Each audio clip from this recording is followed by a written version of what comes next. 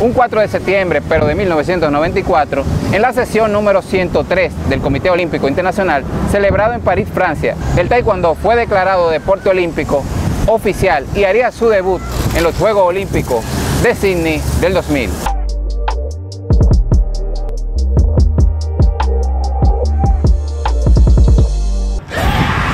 A partir de ahí, fue que varios años después, en la Asamblea General en Ho Chi Minh City, Vietnam, en el 2006, se declaró Día Internacional de Taekwondo.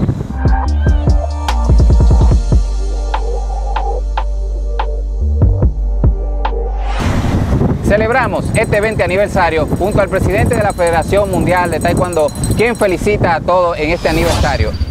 Dear Taekwondo family, on the occasion of 14th Taekwondo Day, I wish the very best of health to the global Taekwondo family who are suffering from the worldwide COVID-19 pandemic.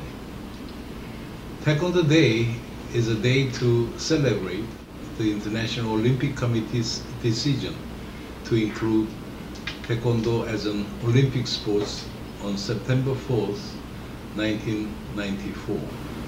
Since then, Taekwondo has enjoyed 20 years of excellence as an Olympic sport.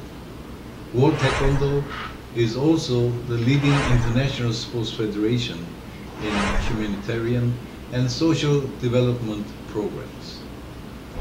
Taekwondo Day is also a day to remember the qualities that make Taekwondo a truly global martial art and sport. Qualities like uh, perseverance, respect, self-control, and integrity are what we need right now in these challenging circumstances. I therefore call on the global Taekwondo family to show our indomitable spirit and ride out the storm. We will emerge stronger together from the pandemic. In the meantime, stay active and stay safe. All the best and happy Taekwondo Day. Desde la República Dominicana, un merecido feliz día del ¡Taekwondo!